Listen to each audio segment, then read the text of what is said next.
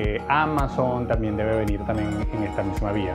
¿Qué ocurre con este split de, Tesla? Si nosotros vemos incluso su precio, en este momento está en 488, era una acción que ya estaba sobre los 2 mil dólares. ¿Qué ocurre? Si nosotros vemos esta acción de, de Tesla, vemos este crecimiento tan acelerado que está llevando esta empresa.